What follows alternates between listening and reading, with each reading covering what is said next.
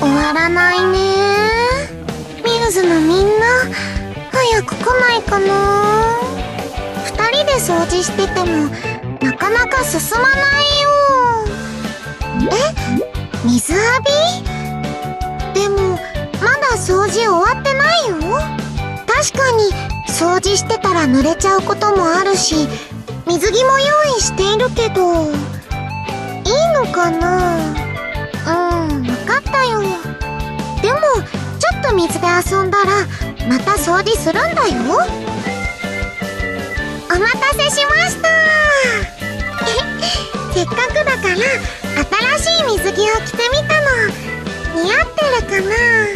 ありがとう。あなたもその水着とっても似合ってるよ。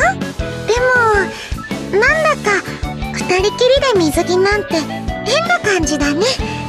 なんだか急に恥ずかしくなってきちゃったかも。